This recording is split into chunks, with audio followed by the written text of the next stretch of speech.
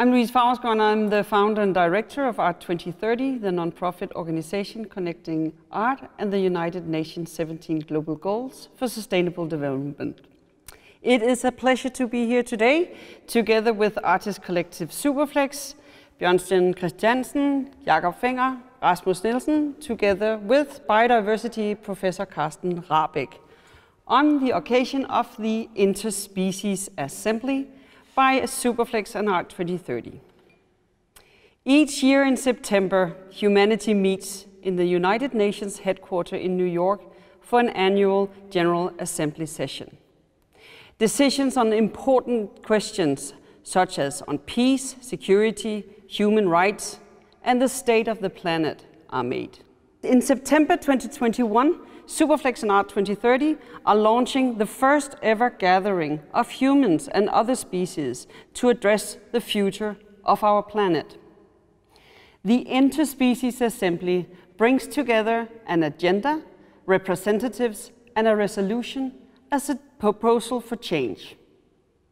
Launched during the UN General Assembly, the project will include a large-scale nighttime projection on the facade of the United Nations headquarter building and a monumental installation in Central Park.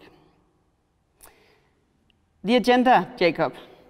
The pink marble sculpture placed in Central Park stands as an icon of hope and monument of the first time in history where all species are invited to gather, listen to each other, to decide our shared future an agenda for a better world. Could you elaborate on the stone material and the pink tone? Uh, well, I guess maybe starting off by saying that we thought it was sort of unfair not to invite everybody to this assembly, uh, which is held by the UN. So we wanted to make our own assembly on the side where we invite all species to participate. Uh, obviously, when we as humans uh, want to invite the other ones that doesn't really have a language like we do, uh, it's important that we actually stay a little bit silent.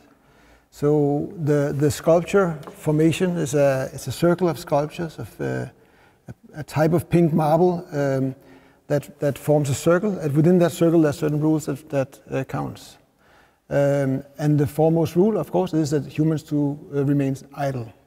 So we go into this uh, place and we have to uh, observe, we have to listen, and we have to be idle to understand the other uh, partner in this uh, game um, as good as we can. Um, the stone material is sort of, you know, it's, as a as artists, it's of course interest, interesting to have these kind of uh, challenges where we have to imagine somebody else uh, without actually being able to, to talk to them. And I think that is a, that is a sculptural challenge that we um, we try to solve in different ways. Uh, one way, of course, is that we, um, in a lot of research, we found out that the color pink uh, is uh, the preferred uh, color for polyps, uh, the ones that are the architect in the ocean that forms uh, corals. They prefer pink from black and white and whatever other colors. So we took that color as a symbol of, of, of a starting point for, for conversation. Um, then foremost, uh, there's also, um, which is also something we learned in the, uh, which is also becomes a sculptural principle, is that um, the surface is uh, the, um, the surface is the interface, which means that uh, for a lot of species, especially under the in the ocean, uh, hard surface is uh, what matters, and that's what they they go to, and that's where they can stick, and that's where they can live. So within the uh, configuration of uh, the stones, there's also holes and small caves in the stones that kind of allow other uh, species to live. Time is also very central too. Of course, I mean, when, when we, as humans, we have like lived on this planet for a very short time in comparison to other species and also to the material that we're using, which is stone. And for us, the stone is sort of a, it's like a time traveler. So it's like somebody, it's, a, it's an entity or it's, it's something that has been on the planet way before we were here. Uh, and it will probably also be a way long time after we have left. Um, and uh, as such, we think it's a very important material to use when we want to communicate about this bigger issue. Um, so within the configuration, uh, um, the co configuration is made out of stone, this uh, marble uh, stone material, and has engraved the text that we kind of want to pass on also to the future. The representatives, Rasmus, the uh, Interspecies Assembly invites the siphonophores as delegation of other species, the representatives of the biosphere, the silent majority.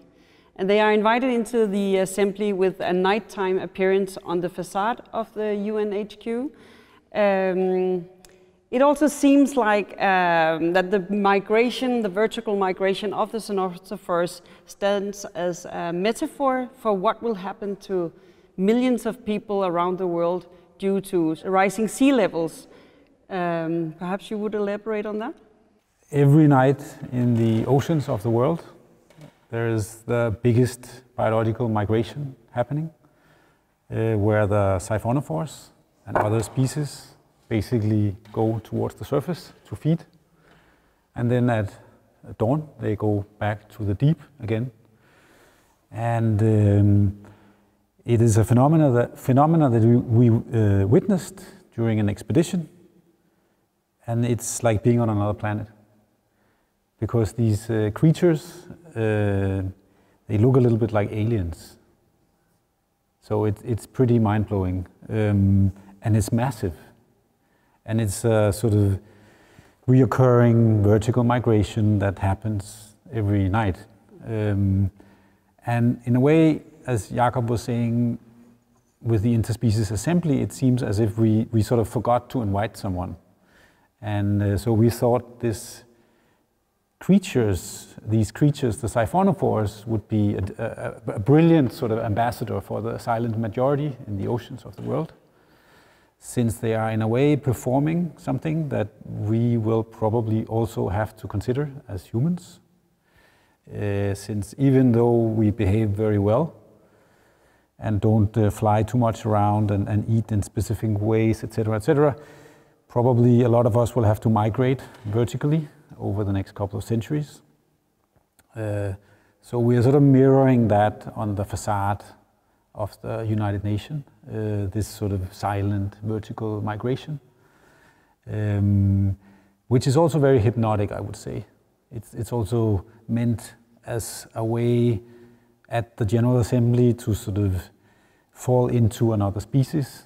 Uh, and siphonophores are not like panda bears. They are unusual creatures. But the magic thing about them is that you you can almost identify with them if you look at them for a long time. And that's the sort of experience we'd like to sort of uh, give uh, at, the, at the assembly, like the uninvited guests. Suddenly they're here, and they're kind of cool. So they are also um, a picture of these uh, symbiotic living between different uh, species, the symbiocene. Yeah. Yeah, absolutely. I mean, they, they, they are like the closest probably we will get to meeting an alien in our lifetime.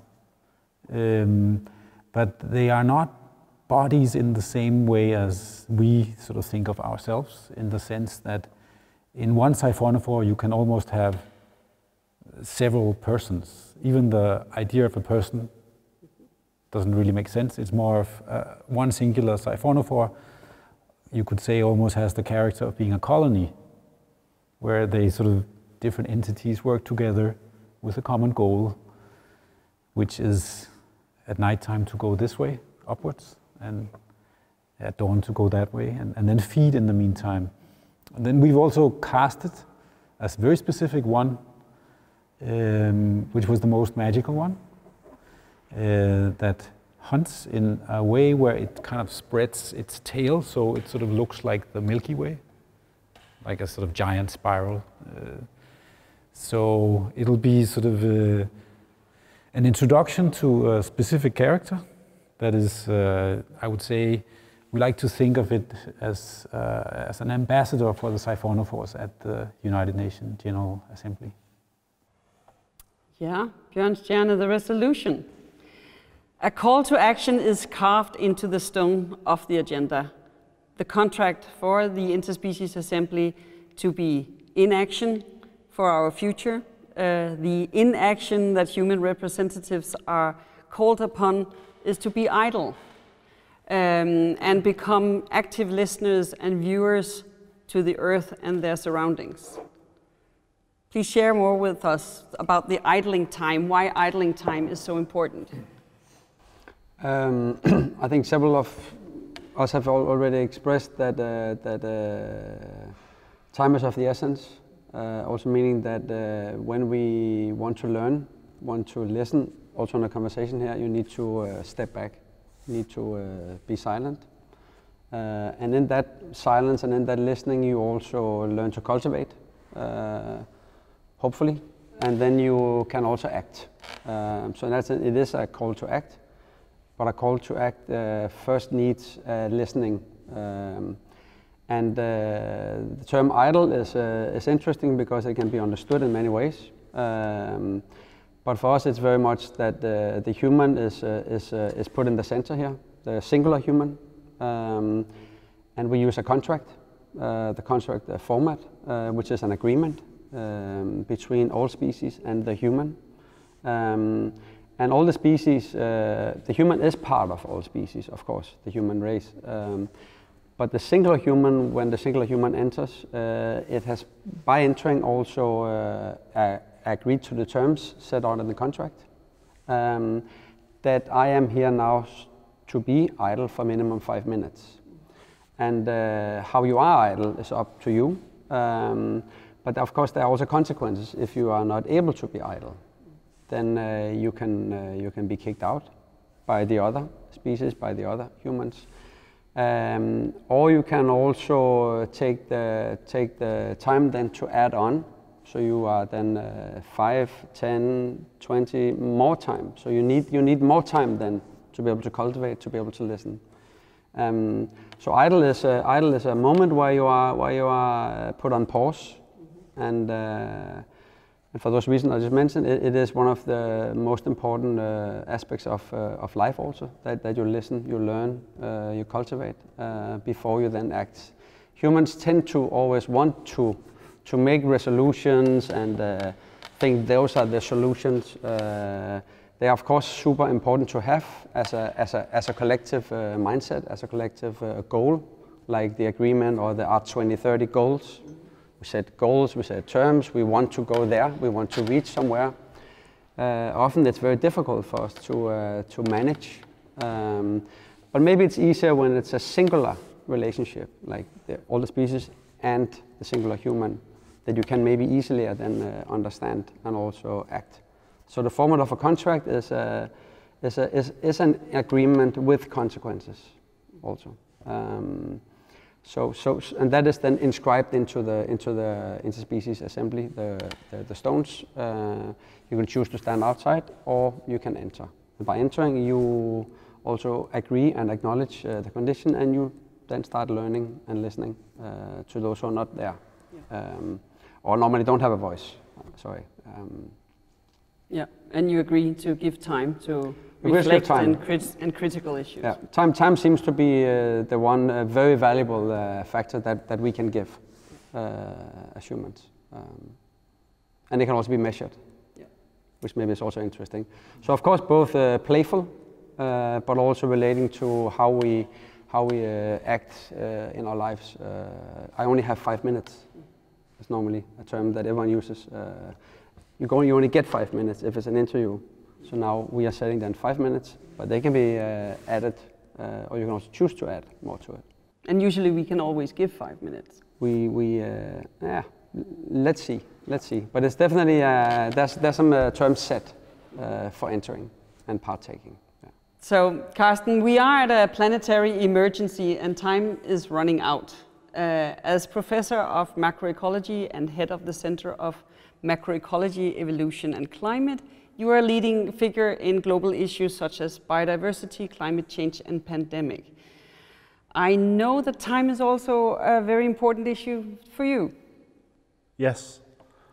Um, I like this idea about the five minutes. We tend to, as humans, to determine everything over a very short time, a few years, or, or maybe you know four or five years. But in fact, life on Earth has a, a, a history of millions of years. Um, and we sometimes have a, a, wrong perspective on, on what determines things on life. It's very quick, but nothing is acting quick uh, out there. It might be quick what we're destroying, but it's going to take millions of years to rebuild it. If we also have the saying that if you stand still in an area, and everything will come to you eventually. Maybe not in a very short time, but when you give, if you give time. So, for example, we have at the Zoological Museum in Copenhagen, we have a light uh, trap uh, on the top of the building in the middle of Copenhagen. Mm-hmm. And we have just turned it on every day and then gone out to see what kind of moth, moth that's going to be there. And we have basically found uh, four quarter, no, yeah, 80% uh, of all species of moth on the rooftop wow. in Copenhagen, given time. So that's the other thing. Uh, things are moving and moving around. And uh, when we talk about climate change and we talk about then, you know, the people that need to migrate up, but what we're also forgetting is that uh, the, the 10 to 15 million species that we're sharing Earth with also have to move around. Uh, so we, we, we, we say that species are not on the run, but they are on the move. And, and we need to think about how we maintain and manage Earth so not only ourselves will survive in these uh, changes, but also the species that inhabit the Earth with us can move around. And that's a problem when we have destroyed 70% of all nature and ecosystems, uh, because species has gone through dramatic climate change in the past and basically caused no extinction. The difference today is that in the past they could move around in, in virgin habitat. Today we have infrastructure and humans everywhere, so that's a problem uh, that, uh, but everything needs to move around. And, and, and the other thing that I'm fascinating about, about this uh, uh artwork is that it, it tells a history that we in it together. Um, we have a tendency when we are using Earth and overexploitations and, and, and causing a, a, a climate change that it's, we, we kind of behaving a little bit like we're living on another planet and Earth is something we're using, but it has no consequences. Mm. That, so I like this idea that we actually bring biodiversity and species and people together, and it's worth thinking about. But why biodiversity? Why is that so vital? What does it mean to me and everybody? Uh, I like to breathe. Mm-hmm. Uh, oxygen is uh, produced by plants. We are removing the greenness uh, of Earth. Uh, water is essential to us. Uh, it's essential to our health. you die if you don't get water. we, all our textile industry, beers requires a lot of water. Water is uh, is not produced. Save the beer. Yeah, it's just, Save the beer. But the water, beer and the beer. But we do not produce water in factories. We produce plastic bottles, and then we go out in nature and get clean water and put on the plastic bottles. So basically, we're selling plastic, but nature is providing, as we can say, a, a free service, clean water. So when we go to the toilet and flush out, it is not cleaned sufficiently. It goes into the ecosystems, and ecosystem cleans up the water and it returns. And due to uh, destruction of ecosystems, we are losing part of this function. And due to more people on Earth, we, uh, over the last 40 years, we only have half as much clean water as we used to have. Water is becoming scarcity. We also like to, uh, to fish in the oceans. Uh, fish is not produced by factories and put out in the ocean for us to catch. It comes out there. 70% um, of all agricultural uh, products requires pollinations from insects. 9% uh, of all food that is produced in the world requires wild uh, pollination. When economists is looking at all these free services, uh, which we take for granted because we don't go down in supermarket and buy it, so we think it's for free, but we're destroying it. It's going to be very costly to come up with, to, uh, to produce it in factories. So when economist has looked at what is the value of the services uh, or the contribution from nature to humans, then it uh, amounts to 50% of the uh, uh, gross um, uh, global uh, product that uh, humans are consuming every year. We get 50% of everything we get and consume every year for free for nature, but we're destroying that uh, surface. So it's also about us, and it's about the contribution from nature to humans. But there's a reverse part of the contract. That is, uh, what are we doing to, uh, to nature? Are we in ethical and moral right to uh, cause other species to go extinct? I think it's interesting what you're saying that are, we at all entitled to set those rules and terms and uh, vision based on our uh, ideas or, uh, or wishes for a future? Uh, and that's what we are trying to hear. Yeah. Trying to flip it around to set to let someone else uh, communicate or be active, and then we listen. Of course, they cannot speak, but then we have to learn to listen, and that is the most difficult task. Mm. We often like to talk about change of perspective, uh, and then our brains are very uh, good at uh, imagining, uh, making stuff, uh, but very, very not so good at then also cultivating what we what we learn from others, because they are, as we say, maybe not so relevant yeah. to us, not nature. Yeah. But we are nature, aren't we? Uh, we, we, are. Yeah. Our success comes from being part of nature. I mean, we do not live in artificial world that is all you know, human made. Uh, so, so we depend on, on this natural world. Uh, but we might not have been, I think we've been in for a, a ride uh, where we have overexploited all these things without realizing what, how much we depend on, on, on nature. And we start realizing that now. I mean, climate change is, is one way to telling us the, the, the loss of, of, of, of, biodiversity is now starting to have consequences. We're looking at it. So it, it gives us a, a, a, it's important that we, we maybe stop up a little bit and, and think about what is the consequences because it might have gone very well for, for you know, a couple of thousands of years. But also the species that we are pushing to the brink of extinction they've been around for a, mil a, million years or more, and we are now causing species to go extinct within 50 years. Uh, that might be a long time for us, but for Earth, that's a very quick time. So we have dramatic, the, the, the, the mass extinction that we have right now, we've had, uh, is, is what we call it the sixth period of mass extinction. And, and mass extinction is enormously rare on Earth. So in the in 5 billion history, years of history, we've, we've had five periods before. And the last one was 65 million years ago when the dinosaurs disappeared. So it hasn't happened in 65 million years. But right now we are living in it. The difference is that in the past it was caused by uh, a plate tectonic, uh, climate change caused by uh, volcanic act activities on asteroid hitting Earth. Right now it's one of the 15 million species that is causing the mass extinctions of, every, of, of all the other ones, and that's us, humans. So being in the middle of the Anthropocene, the Symbiocene mm -hmm. could be um, a future scenario uh, coming out of the interspecies assembly? That would be wonderful. Mm -hmm. um, but I also think there's, uh, there's an understanding of our own role that is changing and I think that's a, a good thing.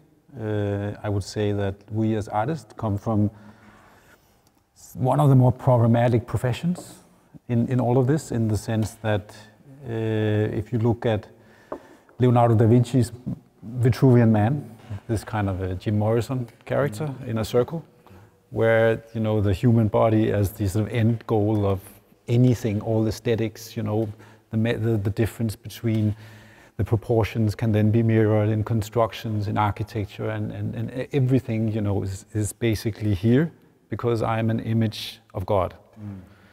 And uh, I think the Vitruvian man is breaking up.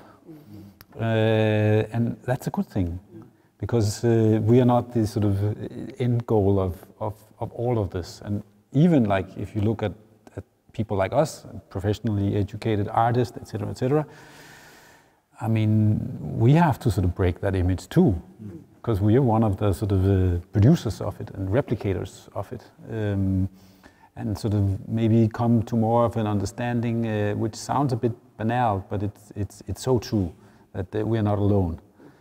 but, but it's interesting with the pandemics because I think it's, it's done a couple of good things uh, in addition to what you just mentioned. I, I think that uh, most people have realized we're biological organisms and we're not separated from the rest of nature. And we are not necessarily in control. And there are consequences to what we do. Yeah, uh, but it's a strange thing because every time we've experienced this kind of you're not in control, you're not the center of everything, there's been opposition. I mean, from Galileo, mm-hmm. battle with the Catholic Church, you know, the earth is, everything is not centering around the earth, you know, we are actually centering around the sun. Um, to uh, Freud's sort of, you know, you're not really in control of your mind, it's mm-hmm. the subconscious. Uh, to other sort of revelations. Every time there's been those sort of oppositions. No, no, no, we are in control. And then there's been a period of sort of recognizing that actually not being in control expands our world quite a lot. Suddenly you sort of, you know, wow. Suddenly you, you see everything else around you and, and it opens your world. Whereas it maybe was thought of as a sort of limiting factor. Mm. What happens with, with if we are not in control, you know? It's actually a cool thing to sort of engage with other species in, and recognize their power over you also. Yeah, it, it's, it's a little bit about also realizing that we are in some kind of interaction symbiotic with, with other organisms. Mm-hmm. Uh, we are not in control, but, but, but we tend to be so afraid of not being controlled. Maybe we should uh, start realizing that you know, being symbiotic can bring a lot of good things uh, mm-hmm. with it. If it was a party, it's a more fun party. Yes. yes. Right? Yeah. Who wants to just. We are interdependent, yes. really, yes. And yeah. uh, I mean, we have the scientific fact. This is really important. Um, so, um, how is the bridge between art and science? So, in my role as scientist, I work on trying to understand how Earth operates and how nature operates and what's the consequences of what human can do. And, and when politicians ask me, I've been serving as a, as a, a scientific advisor to, to the government in my country, Denmark. I served to the EU presidency. I've been sitting in all kinds of science boards, writing the recommendation scientific knowledge. But scientists should not determine what should happen. That people should decide that. So there's been a fairly passive communication of knowledge from the scientific world. I think we need to move in the direction of much more interactions. Now we talk about symbiotic, I mean, between politicians and people and artists. And to me, it is a decision, our future is a decision of, uh, of what um, people want. And people think many, many different ways. And I think, and this is why I, I, I, I, I love interaction with scientists, because I think artists can communicate in, in, in, in quite different ways. I don't think this is a cold-hearted scientific fact decision we are on here. We are, it's, it's a very uh, uh, emotional uh, and it's, it is humanity. And I think artists can reach in different ways than scientists can do uh, people's mind. And it's also about, you know, get people to think and reflect. Uh, and, and, and and that's why I, I like these interactions and, and what that can be done. Because all good forces from the different perspectives that can contribute is, is so heavily needed. Playfulness is, uh, is often where you open up uh, perspectives. Your mind is a little more uh, yeah. curious yeah. And, and, and you act it out and you also fail. Yeah. There's no problem in failing in a game if it's playful. Uh, it's when, it, if, when, if you, if, when you're pressured and you have to deliver it becomes uh, more difficult to play and perform and, uh, and, and, make mistakes. So I think, but you said before, art and science. I think what you asked, what you asked about before actually was that art is also communication. Uh, so it's not only words, and particularly not here at the interspecies assembly, yeah. because the only words are those the humans can read when they enter.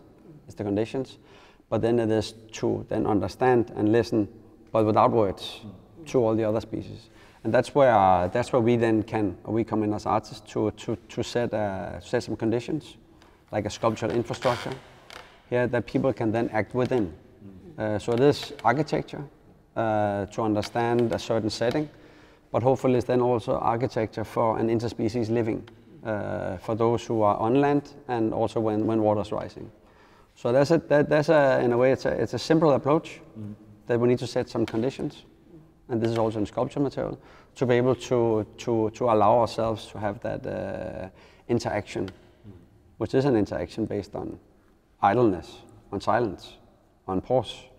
Um, so that's where we meet also in, in with the scientific knowledge, uh, Rasmus says, uh, Alex Jordan, and so on, what you say, and then, and then we then formulate a setting that is the sculptural setting or an infrastructure for having that moment.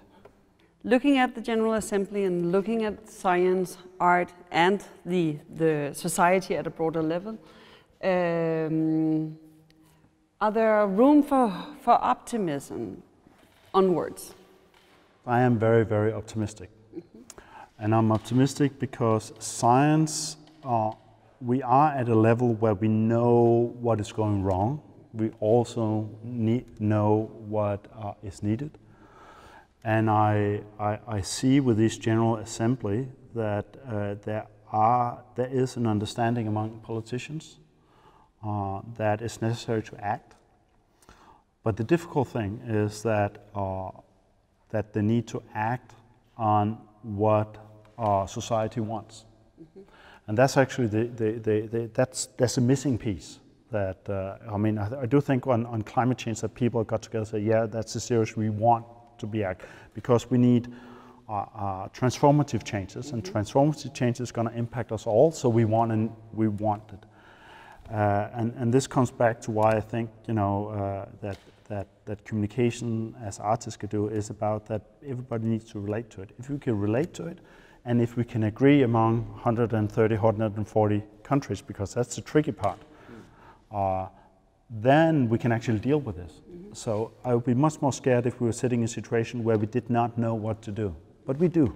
It's whether we can agree upon it, uh, and that uh, that is up to the, the, the voice of all people. And I, I have a huge faith in humanity. So, and art changes people and people changes the world. I think the first thing to do, I mean, and I think that's what, what and why we do what we do, is that, that it's time to reflect on different levels, and, and this is certainly one of them. Uh, just this thing we talked about surfaces and we talked about time and, and all these things are sort of in play in the sculpture. And obviously you we ask people to give five minutes of idleness. It's like a, a little play you could say but the stone that has been there all the time is like the witness. So it's kind of watching these humans trying to do something for five minutes to make a better world. The thing is of course for us it's trying to by putting these things like sort of a to a boiling point or to a place where, I mean, you ask for very little things to change in your life uh, because the whole world is kind of falling apart. It's kind of a, it's a game and hopefully an, an eye opener uh, to some that we actually have to act and we have to do stuff. Because it is like serious issues, of course, though we are playful, though we are whatever we are. But it's always uh, also a matter of then persuasion. How are you able to persuade someone? To actually give time, to consider, to listen. And again, even though it sometimes is a, maybe a negative thing to try to persuade someone, uh, I think it is, it is a valid and strong tool that we, among others, use often. Mm. So you may like, you may think that the sculpture looks cool, you know, that the color is beautiful, or it's in this uh, great place, uh, Central Park. Uh, but as soon as you then enter well, then you are of course open. If you see a great color, you're inspired, you move in, and then you go in, and then, then you're caught. You know, then you are, then everyone is looking at you. If you if you uh, if you agree to the terms that all the other species are looking at you, right? And that is the trigger point where we where we are playing with here. Is it possible to make people within that assembly, the structure, to look at all these species who are, as you say, there? There's a at nighttime if we would also study, make this a trap, you would have all kinds of insects and so on also be visible and be present. And this is, of course, our imaginary power that we look at them, we see them. Uh, that is the abstract part. That's why I say communication, but also persuasion. Mm. And this sculptural setting, which is beautiful, it is fantastic made, beautiful marble. It's uh, an old material that we trust. Also, I think most people trust this because it looks great. Yeah. Um, and at that moment, you can, you can have the, the conversation. Uh, also, through just listening, you don't need to say anything. There's a conversation. Um, But I think to answer Luise's question also, I, I- I think, I mean, humans are a peculiar kind. And, and and one thing we do know is that they don't purely uh, work on the basis of facts. I mean, you, that, I mean, facts changes a little bit, but, but you can't really run anything on the basis of, of facts. Um, so in that sense, uh, we have this uh, capacity to be storytellers, um, and mythologies and, and, and stories have been sort of game changers in terms of how we look at the world, uh, as well as facts have been. Um, but they kind of work in, in, in, a, in a strange kind of ping pong. Um, but absolutely, I mean, through almost a kind of a ecstasy of, of storytelling, art can, can, can actually change things. And maybe, maybe things is the wrong word. Actually, it can change you. It can change your reading and perspective of the world. And that's the sort of the, that's why it, it, it's- it's actually a strong drug, which is also why that uh, in, in various kinds of uh, dictatorships, it has been kept under strict control. From the old Greeks to Stalin to Hitler to That's actually why I mean. Uh, because- art changes people, Yes. but people changes. Yeah, yeah, exactly. But but these people knew that you know this is dangerous stuff here, and, and you know we need to keep it under control. Uh, so of course, uh, and and humans are also, I think, kind of always searching for for this sort of. Um, I mean, we like to drink wine and, and beer and stuff, and, and, and, and some people like drugs as well. We, we like ecstasy, the ecstasy of life that changes ourselves. And it's almost like we have it built into us that we want to feel this change of perspective through doing various kinds of, uh, I don't know, sometimes we dance also to sort of get into sort of a different reading of, of our circumstances. And, and I, I think art is just one of those sort of game changers, along with others. I, I like your point. Of, uh, we, we often think that humans are very rational. One thing I learned from my research that humans are not rational. I I spent 20 years together with economists to come up with optimal solutions, and and then you can enforce that by politics or taxations, and then you you think that people will act in the rational way that will benefit themselves. And what we found out with all these optimal solutions that we actually spent 20 years on climate change, and all, that people are not behaving that way. So a lot of the things that built on the rationality uh, doesn't work. Uh, so, so that's human mindset of you know what are we reacting to, and and I think in order to get to some of these solutions, we need to to embrace that irrationality that that each one of us has, and it's different. Uh, and, and that's part of the solution to, to em- embrace that. act idle and, and see what happens, right? Uh, then you start listening and then you can cultivate and then, uh, you know, uh, we, we may uh, experience uh, irrational things, but also be able to, to again, act. Um, that's what we like to call it, act idle also. Um, and inactive is also an interesting word, but uh, what does that mean, right? Uh, many will say, what is inactive? Um, and those things are then carved in stone, and then you can think about it for centuries uh, or five minutes. Um, so give five minutes is the last remark from here.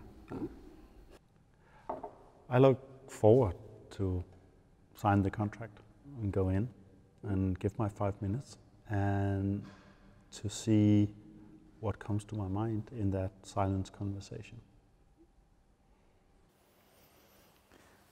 Wow, it's like the final, uh, final words on Spaceship Earth. Uh, um, uh, you didn't prep us for this, uh, Luise. Um, no, I, I think fundamentally we are also a scientist and, and some artists around this table, and I think facts are fun. And I also think art is fun. And I think those two things coming together is funnier. I mean, it, it is actually, it, it expands the human scope, and we can actually do both. Um, so in this, on, around this table, that's my humble sort of uh, sort of feeling, and, and I feel a lot of joy of, of sort of having having that sort of ping pong uh, with with you guys. Maybe just let's try to avoid these sculptures being this kind of last scene in uh, Planet of the Apes, where they say, "Oh no, how could you do it?" I mean, Yeah. let's uh, try to fix things. Um, we have a lot of knowledge. We have a lot of uh, playful minds. Um, we have imagination. We are irrational. We should be able to do something.